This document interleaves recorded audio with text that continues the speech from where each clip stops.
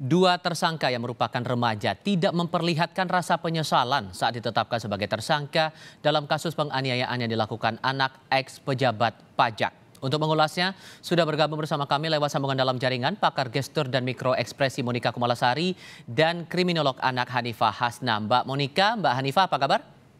Halo, selamat sore. Terima kasih semuanya sudah bergabung bersama Kompas TV kali ini. Uh, Mbak Monika, saya mulai dengan Anda dulu.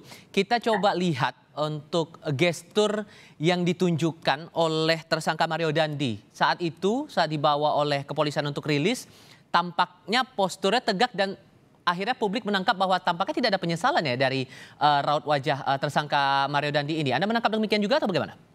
Ya, uh, jadi kita bisa melihat dua hal yang sangat kontras ya yang ditampilkan oleh postur dan gestur dari uh, Mario maupun uh, Shane ya. Hmm.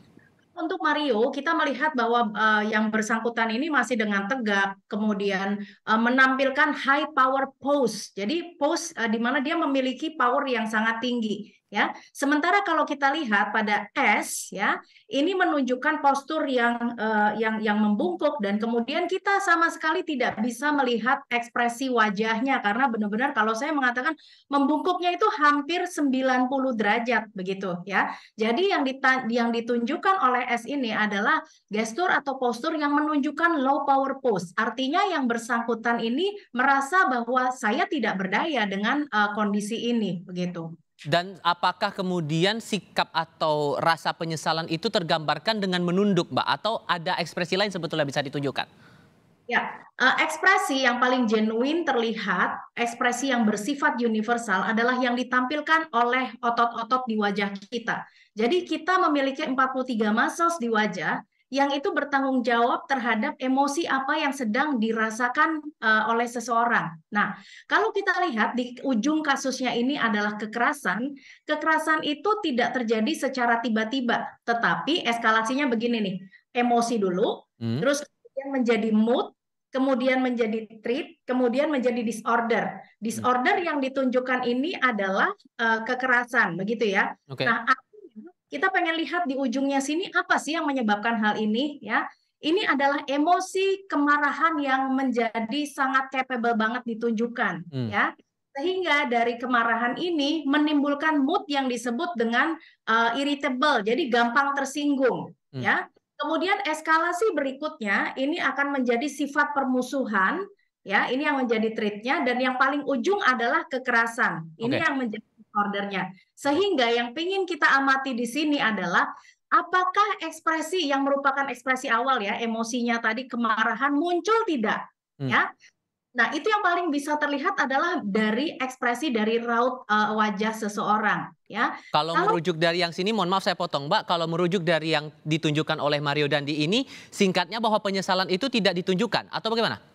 Tidak ada ekspresi uh, uh, berubah dari kemarahan menjadi ada ekspresi ketakutan, ada hmm. fear ya. Biasanya kalau orang takut di sini ada menjadi merkerut gitu. Jadi yang kita lihat di sini adalah mulai dari gestur yang bersangkutan itu menunjukkan high power pose, kemudian juga dari ekspresinya tidak menunjukkan ada ketakutan, ada kesedihan karena telah melakukan sesuatu yang menyebabkan kerugian uh, bagi banyak orang seperti itu. Jadi merasa bahwa apa yang dilakukan dia itu benar, bisa dikatakan demikian? Dia belum berempati terhadap uh, kelakuannya atau terhadap si orang lain yang menjadi korbannya. Mm-hmm. Oke, okay. uh, eh, saya coba singgung terkait dengan aspek hukumnya sendiri nih sama Mbak Hanifah. Mbak Hanifah, uh, kalau kita lihat lagi dalam rilis yang disampaikan pihak kepolisian kemarin untuk ter, uh, tersangka yang baru, Shane Lucas ini, disebutkan bahwa Shane ini posisinya memanas-manasi Mario Dandi sampai akhirnya melakukan penganiayaan terhadap uh, korban David ini. Anda merasa bahwa ada bentuk perencanaan untuk melakukan tindak pidana di sini? Iya betul. Jadi begini Mas, jadi dalam proses kejahatan itu uh, bisa disebut sebagai uh, tindak kriminal itu ketika ada pelaku, ada korban, ada saksi, dan ada bukti. Nah pelakunya itu terbagi menjadi tiga. Yang pertama adalah pelaku utama yaitu eksekutor, di mana di sini yang melakukan adalah si Dandi ini. Yang kedua adalah pelaku uh, yang memberikan bantuan. Ya, yang memberikan bantuan itu bisa orang-orang yang dilibatkan untuk melakukan penganiayaan. Yang ketiga adalah reinforcer. Reinforcer itu adalah orang yang menghembuskan atau ngomporin kalau bahasa anak zaman sekarang, mm-hmm. sehingga si pelaku itu uh, dengan agresivitasnya, dengan kemarahannya, dengan emosinya meledak-ledak, dia melakukan itu. Biasanya reinforcer ini akan melakukan uh, uh, apa namanya pengambilan pengambilan uh, dokumentasi mm-hmm. dan mereka dan dia juga akan melakukan selebrasi terhadap uh, penganiayaan ini atau kejahatan ini. Padahal dia sendiri mungkin tidak terlibat dalam uh, masalah ini. Oke, sehingga kalau menurut Anda uh, bagi keduanya ini diterapkan dua pasal dalam Undang-Undang Perlindungan Anak ditambah satu pasal dalam KUHP sudah cukup atau per, ada sangkaan baru lagi yang bisa dialamatkan kepada keduanya? Uh, yang pertama adalah dia sudah melakukan tindak kekerasan dengan uh, uh, apa namanya di, perencanaan. Hmm. Yang kedua, yang tadi itu Mas bilang tadi dengan uh, sudah menggunakan Undang-Undang Perlindungan Anak sebagai uh, upaya untuk melindungi si korban karena masih berusia 17 tahun. Oke, jadi kalau sekali lagi saya butuh penegasan untuk yang diterapkan sangkaannya kepada keduanya ini berarti sudah cukup. Kalau yang saya lihat pelaku yang kedua ini usianya sudah 19 tahun ya Mas ya? Mm-hmm, ada 20 tahun, hmm, 19 tahun. Uh, ya? 20 tahun dan 19 tahun itu sudah masuk ke usia dewasa awal, sehingga mereka sudah cukup mendapatkan dua sangkaan ini. Oke, uh, sehingga butuh treatment khususkah menurut Anda dalam proses penyelidikannya atau penyidikannya bagi keduanya ini? Tidak, semuanya harus disamakan dengan warga negara yang lain. Jadi tidak dipedulikan ya, dia itu anak siapa, karena dia adalah warga negara, dia harus melakukan sesuai dengan yang sudah ada dalam ketentuan. Nah, dia oh. sudah termasuk dalam golongan dewasa. Oke, uh, saya kembali ke Mbak Monika kalau begitu. Tadi sempat kita singgung masalah uh, gestur dari Mario Dandi. Sekarang kita juga menyoroti masalah uh, gestur dari Shen. Oke, kalau di hadapan publik lewat uh, rilis saat itu sempat tertunduk. Tapi saat masuk ke ruangan pemeriksaan saat itu, ini terlihat di layar kaca ya, ekspresi santai yang ditunjukkan. Anda mempelajarinya apa ini? Uh, apa yang coba ditunjukkan oleh uh, tersangka Shen ini? Nah, uh, pada saat di ruang konseling ini terlihat santai, tetapi sayangnya adalah kita tidak mendapatkan data atau kita tidak mendengar verbal apa yang sedang terjadi. Jadi dalam konteks apa dia uh, apa namanya terlihat santai gitu ya. Mungkin santai adalah karena yang bersangkutan juga uh, merespon dari uh, dari dari uh, dari dari penyidik misalnya seperti itu. Jadi dalam hal ini kita tidak bisa mengatakan bahwa yang bersangkutan itu cengengesan dan sebagainya. Sebelum kita tahu apa konteksnya gitu ya. Hmm. karena mungkin ini juga merupakan coping untuk supaya yang bersangkutan tidak stres biasanya para penyidik juga membuat suasana itu menjadi cair terlebih dahulu sehingga uh, apa uh, seluruh responnya akan keluar gitu ya. Hmm. Tetapi yang paling terlihat adalah ketika dihadapkan uh, dengan dengan pers gitu ya yang bersangkutan menunduk bahkan saya mengatakan sampai 90 derajat hampir 90 derajat gitu ya. Jadi ini yang kita lihat perbedaannya ya. Jadi yang bersangkutan memang sudah merasa malu dan bahkan merasa bahwa ini uh, sesuatu yang tidak uh, untuk ditampilkan begitu ya. Oke, uh, sehingga kalau kita tangkap dari gestur yang ditunjukkan oleh kedua tersangka ini saat rilis di Polres Metro Jakarta Selatan ini, apakah Anda bisa menangkap karakter dari kedua tersangka ini seperti apa sebetulnya? Ya, uh, kalau dari Mario ya seperti kalau pemberitaan-pemberitaan uh, yang kita dengar juga dan juga bahwa kekejian itu apakah uh, ketika peristiwa itu baru terjadi beberapa hari yang lalu sudah menimbulkan dampak secara emosional atau secara psikis bagi yang bersangkutan. Saya melihat di sini belum. Kenapa? Karena tadi ketika uh, apa namanya Mario juga di apa di uh, dibawa kemudian dihadapkan pada pers ya. Uh, kalau tadi saya tidak mendapatkan ada emosi-emosi yang bertanggung jawab mulai dari uh, mulai dari apakah ada fear, uh, ketakutan dan kesedihan dan sebagainya, tetapi justru malah dari mata ini ya, matanya masih ber, masih bisa untuk menetap ke ke mana-mana yeah. gitu ya. Jadi uh, ya ini menunjukkan bahwa yang bersangkutan ini masih berani untuk menghadapi publik dan apabila ya uh, rekaman itu benar yang bersangkutan mengatakan bila ini benar bahwa saya tidak takut di apa dilaporkan kepada polisi yeah. mm -hmm.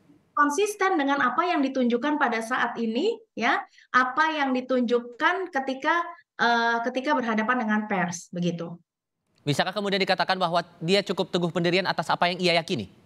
ya dia masih masih masih uh, percaya diri bahwa apa yang dilakukan itu uh, uh, tidak salah atau mungkin mendapatkan backup dari uh, dari orang tuanya. Nah, uh, ketika saya membahas hal ini, maka kita perlu lihat karena uh, Mario tidak berdiri sendiri, tetapi ada respons dari orang tuanya, ya.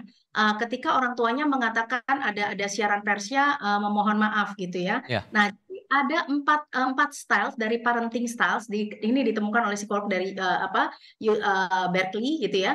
Nah ini adalah ada tipe orang tua yang memang uh, apa uh, otoritarian kepada anak. Jadi anak harus menurut ya. Sebaliknya adalah tipe orang tua yang disebut dengan permisif. Nah, permisif adalah justru malah orang tua menurut pada apa yang di, diminta atau diinginkan oleh anaknya.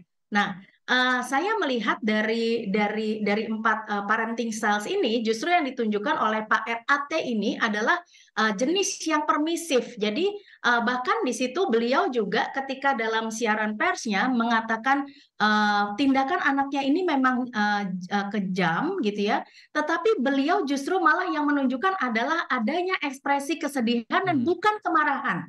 Ya, nah ini yang menunjukkan bahwa seseorang seorang orang tua ketika peristiwa ini terjadi, ya memang sedih, ya, tetapi justru yang lebih dominan adalah kemarahan karena begitu banyak uh, apa uh, damage yang ditimbulkan dari perlakuan ini. Okay. Tetapi kemarahan tersebut tidak kita dapatkan dari Pak RAT. Oke. Okay. Uh, terakhir saya mau ke Mbak Hanifah kalau begitu. Mbak Hanifah, ada peran dari saksi AG juga di sini. Sebetulnya sampai akhirnya penganiayaan ini terjadi. E, menurut Anda apakah AG juga patut dimintai pertanggungjawaban secara hukum walaupun kemudian ada keterangan dari penasihat hukumnya bahwa AG ini sudah ada upaya untuk menghalau jangan sampai ini terjadi atau penganiayaan ini terjadi begitu. Ya, AG tetap harus dimintain keterangan karena dia adalah sumber pertama dari kejadian ini. Karena kalau AG tidak memberikan tidak memberikan informasi, uh, kejadian ini tidak akan terjadi. Sehingga dia adalah kunci utama dari uh, kejadian ini. Oke, dengan jerat pidana ini singkat saja, ya, singkat saja ya. Mbak uh, Mbak Hanifah, dengan jerat pidana ini bisakah kemudian diterapkan pidana maksimal untuk uh, kedua tersangka yang sudah ada sekarang? Iya. Iya, karena dia sudah dewasa. Kecuali untuk AG ya, karena AG masih berusia 15 tahun, dia harus uh, diproses secara Undang-Undang Perlindungan Anak dan dijatuhi hukuman sesuai dengan undang-undang yang berlaku. Baik, proses penyelidikan masih terus berjalan sampai dengan saat ini di Polres Metro Jakarta Selatan. Mbak Hanifah, terima kasih. Mbak Monika juga terima kasih sudah bergabung bersama kami di Kompas TV kali ini. Sehat selalu untuk Anda berdua.